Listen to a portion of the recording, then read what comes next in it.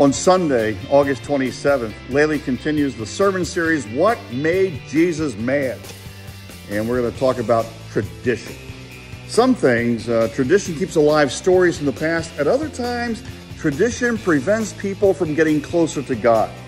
Jesus condemned those traditions that had no value, added nothing to understanding faith, and actually got in the way of knowing God.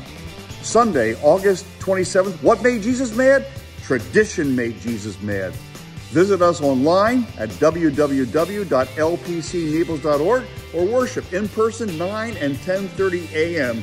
at 110 St. Andrews Boulevard, Naples, Florida. See you then.